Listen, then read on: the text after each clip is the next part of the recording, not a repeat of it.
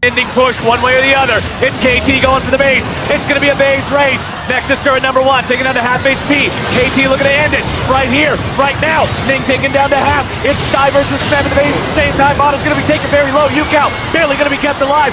Score taken down to one corner. Smeb nearly going to be killed now as well. Deft taken so low. The Flamethrowers not able to find him. Killing spree. It's the Shy still in the base. It's KT looking to try to stand and fight if they can. The Shy has made his way onto the inhibitor turrets, onto the Nexus turrets. They're going to be taken down. KT still marching. It's a base race. The Shy's under the blue Nexus. KT's under the red. Who's going to win? The Shy will not. And KT takes it to game four. Holy crap! they won the